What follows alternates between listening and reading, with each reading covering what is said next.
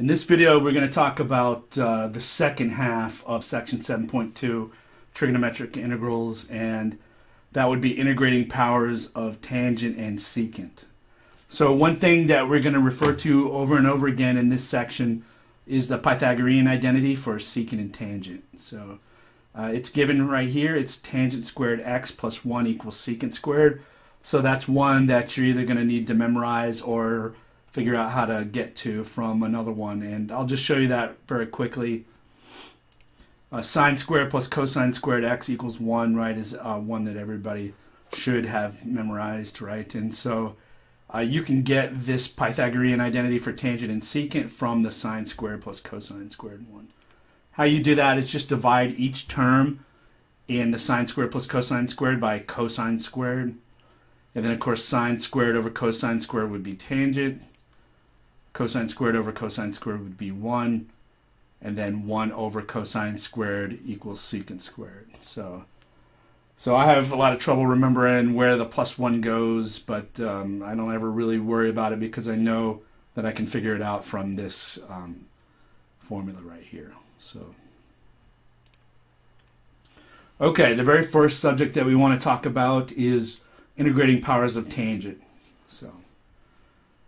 So here I have tangent to some um, positive integer power here. So let's take a look at those.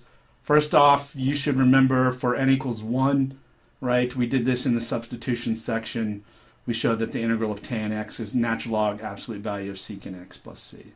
So this is one that you just you need to memorize if you haven't already, right? You can get it from writing tan as sine over cosine and then doing substitution, but we're going to refer to it often enough that you just you just need to know it. So, all right, the next power is uh, tan squared. And for this one, what you want to do is use the Pythagorean identity. Tan squared would be equal to secant squared x minus 1. And now both of those are, are really simple integrals, right? The integral of secant squared is tan, and the integral of 1 is x here. And so that's it for tan squared. And uh, in general, when you're talking about powers of tan, a lot of the times uh, you'll split off powers and then use that Pythagorean identity. Like. All right, so tan cubed. Again, the strategy here is to pull off uh, tan squared, right, from tan cubed and use the Pythagorean identity on that, secant squared x minus 1. So you can see that's pretty close to what we did for n equals 2. Uh, then distribute the tan x through the parentheses, and I wind up with uh, two integrals.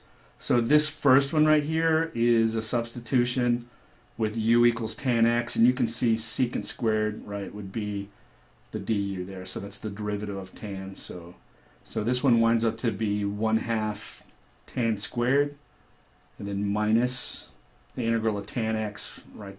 That's natural log absolute value of secant x plus some constant c. Okay.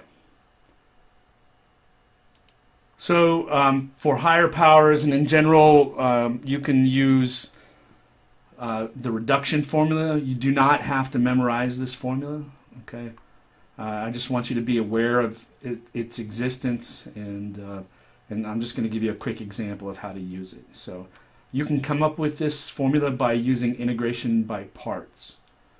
Okay, that's where this formula comes from, but I'm, I'm not going to go through the details on that. Uh, so let's apply the reduction formula to some higher power tan to the fourth really probably, you know, this one is what you could do is separate off a tan squared and then use the identity again to, uh, to boil that down potentially.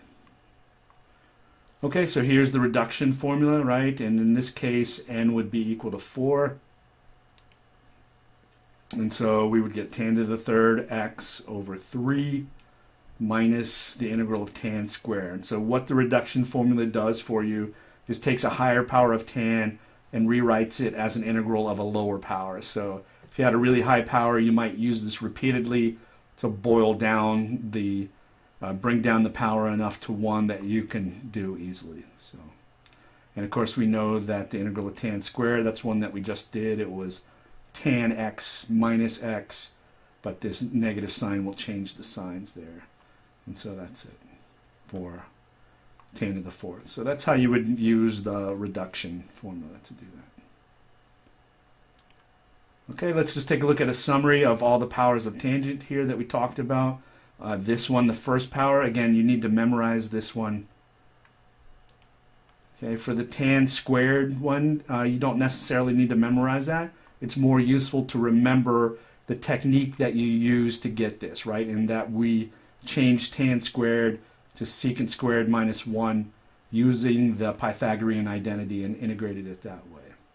And the same thing for tan cubed, right? Remember, you don't need to memorize this, but uh, the technique, recall what we did. We separated off a tan squared, right, and then used the Pythagorean identity, just similar to what we did for tan squared right there.